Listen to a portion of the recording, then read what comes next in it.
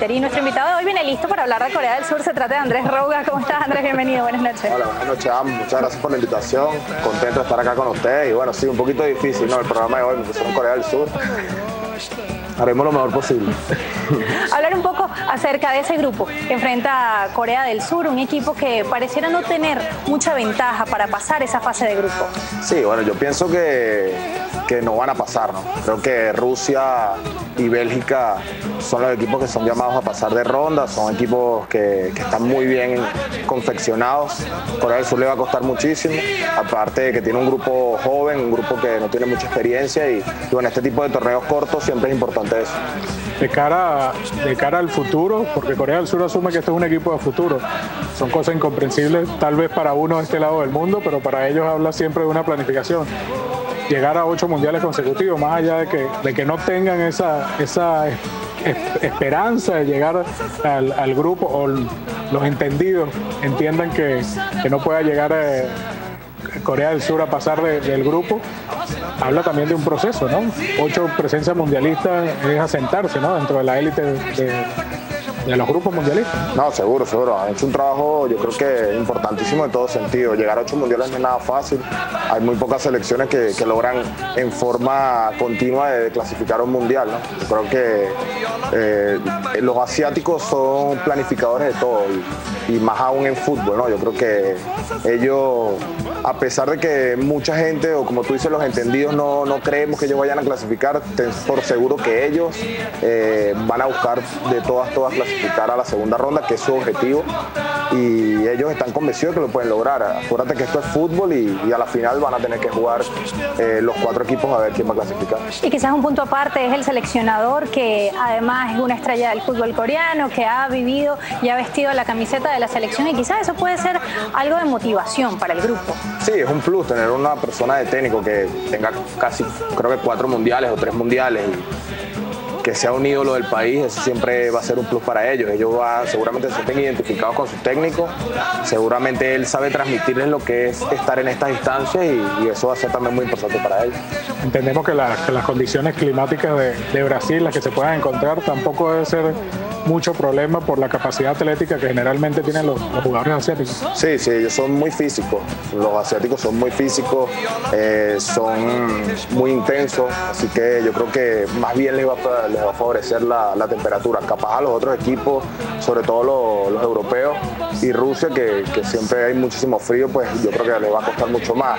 Eh, los coreanos van a correr mucho, van a presionar, van a ser muy intensos y en eso van a basar eh, toda su idea de juego para poder clasificar de hecho escogieron la ciudad de Miami para hacer su concentración prueba del Mundial, creo que también para ir aclimatándose. Miami que es un tanto húmeda, pero también puede variar con, con el calor que puede ofrecer, ¿no? Sí, sí, seguro. Igual Brasil eh, hace mucho calor, va a ser igual para todos las mismas condiciones, así que bueno, ellos van a tener que aclimatarse muy bien todo este, todo este tiempo antes del, Mundial para poder llegar de la mejor manera, pero creo que eh, ahorita en el fútbol actualmente hay muchas maneras de llegar eh, preparados 100% a lo que es los partidos y ellos seguramente van a llegar muy bien.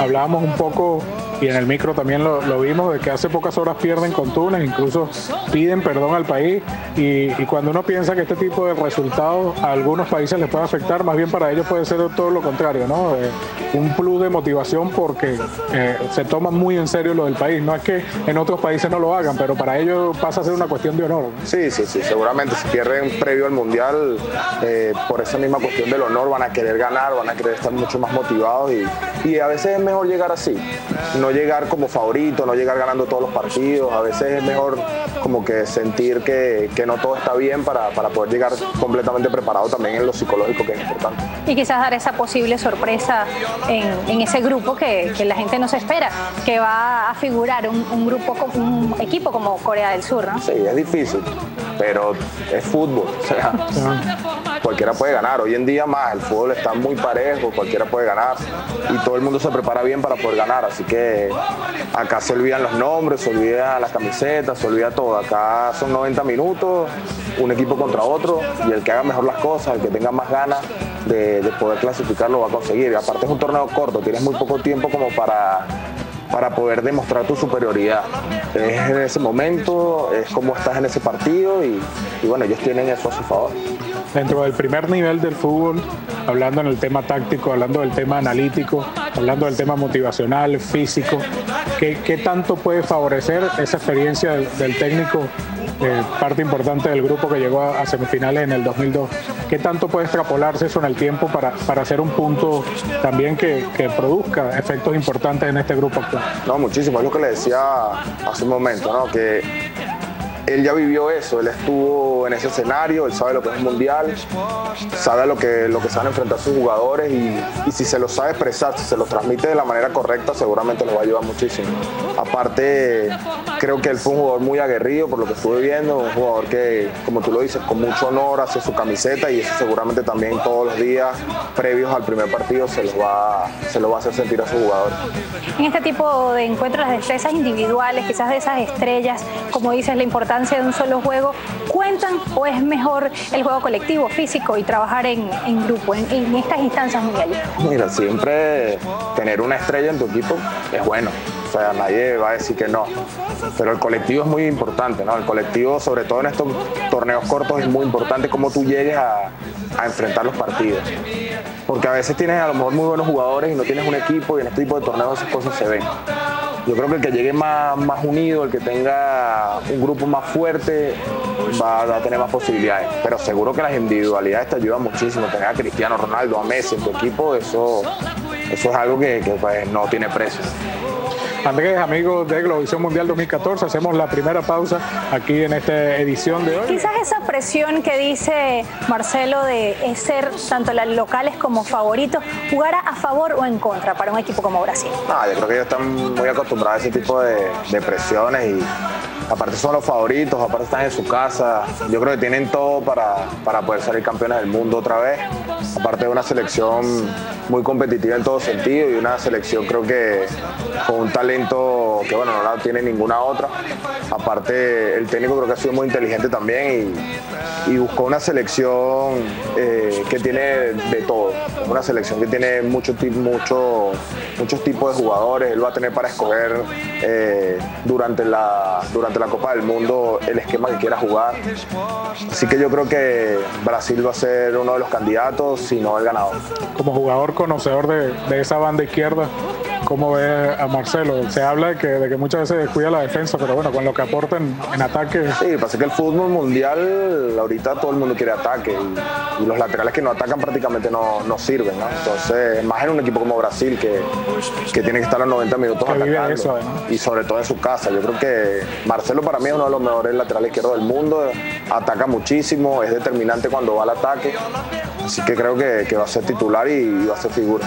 Dijiste algo clave, el fútbol hoy en día. ¿Qué vamos a ver en Brasil en comparación a lo que fue Sudáfrica? Futbolísticamente hablando. El fútbol eh, ahora es mucho más, más intenso, sobre todo para recuperar la pelota, cuando antes se podía jugar un poquito más, ahora los equipos quieren recuperar la pelota muy rápido. Entonces eso hace que el fútbol sea mucho más intenso y que todo el mundo está muy preocupado por, por recuperarla rápido. Entonces yo creo que eso va a ser la diferencia más grande. Aparte, pues ahora han salido jugadores muy buenos y creo que vamos a ver un mundial muy rico en lo técnico porque hay jugadores de verdad que están haciendo las cosas muy bien y están llegando en un momento de forma muy alto para, para el mundial. Siempre se habla del, del, desgaste de la campaña, son jugadores profesionales, pero el desgaste físico es el desgaste físico, aunque eh, el primer nivel está todo muy bien pensado y muy bien planificado para, para, que no haya ese tipo de desgaste, pero ¿crees que por ser un torneo corto también esa presión, esa intensidad vaya a ser tan, tan fuerte como lo que uno acostumbra a ver semana a semana en las ligas?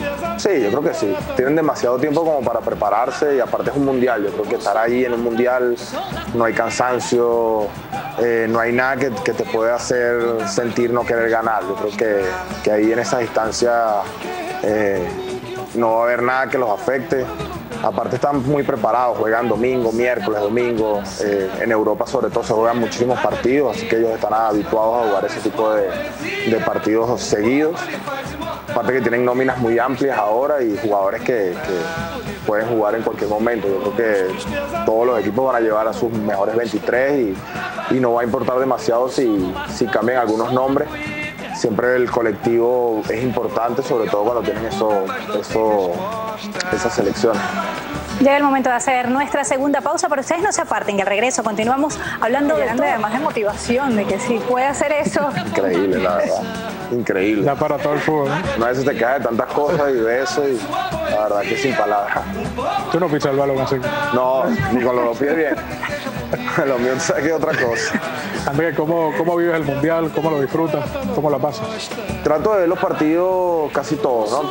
Hay, por supuesto, selecciones que me llaman mucho más la atención y disfruto más los partidos, pero trato de ver casi todos. Siempre nos agarran vacaciones también y por lo regular estamos de viaje o descansando, pero hay algunos partidos que, que da gusto de verlos, de disfrutarlos. Siempre lo veo en la casa o donde esté. Eh, y bueno, esperando que gane una de las selecciones suramericanas, porque creo que, que en Sudamérica es el mejor fútbol que hay ahora actualmente. Fútbol eh, muy bien eh, jugado en todos los sentidos. Creo que es el momento que Sudamérica ya gane un mundial y creo que va a ser esto. ¿Lo ves solo, con amigos? ¿Te gusta analizar o eres un fanático más?